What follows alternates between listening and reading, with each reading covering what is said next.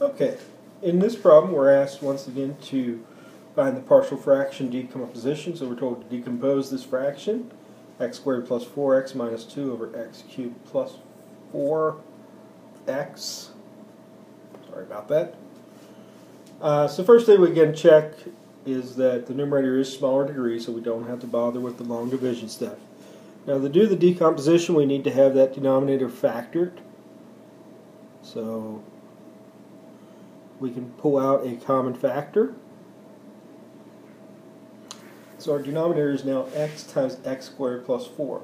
The x is a linear factor. The x squared plus 4 is an irreducible quadratic factor, meaning that it doesn't have real solutions. If you tried to solve that equation, we'd get the answers positive 2i and negative 2i. So it has complex or imaginary solutions can't be reduced down to a linear factor. So recall when we do those, for the linear factor we'd have a constant. For the irreducible quadratic factor, we have to have a linear expression in the numerator, bx plus c in this case. And that would be over my denominator, x squared plus 4. So that's the first step in the decomposition is to expand it out. And now we want to solve for a, b, and c. So we multiply through by our common denominator, which would be x times x squared plus 4.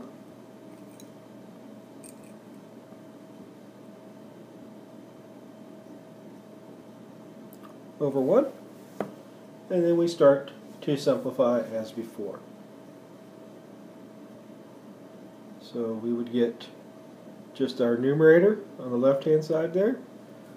Um, the x would cancel out, so we'd have a times x squared plus 4. In the second term, the x squared plus 4 would cancel out, so we'd have just an x times bx plus c. And then we start to, again, continue now to simplify. So we distribute the a through, we get ax squared plus 4a. We distribute the x through, we get bx squared plus c. Okay. At this point we then look to start collecting our like terms together. Sorry, plus cx. ax squared and a bx squared. So those two things have to combine together give me the x squared term. And then we have a cx, it's the only x, so that has to correspond to the x term on the other side, the 4x. And the 4a has to correspond to the negative 2. So again, ax squared plus bx squared has to be equal to x squared. So we get a plus b equals 1. The cx has to correspond to the 4x. So we get that c has to be 4. It's pretty easy to solve. And 4a has to correspond to the minus 2. So 4a has to be equal to negative 2. And then we begin to solve. Well, we already know what c needs to be, so we just solve now for a. 4a equals negative 2. So divide by 4, we get a equals negative 1 half. Now we know A and C, we just need to know B. So we go to the A plus B equals 1. Plug in the A is negative 1 half. Plus B equals 1. So we solve for B and we find that B has to be 3 halves. So now that we know what A, B, and C are, we can now take those back up into our fraction and plug the a into a over x, then to bx plus c over x squared plus 4. So we do that. So we get a over x plus bx, so 3 halves x, plus 4 over x squared plus 4. And we want to clean this up a little bit. Negative 1 half divided by x is the same as negative 1 over 2x. And then the second thing, I don't like having that fraction 3 halves up there. So I'm going to factor that fraction 1 half out.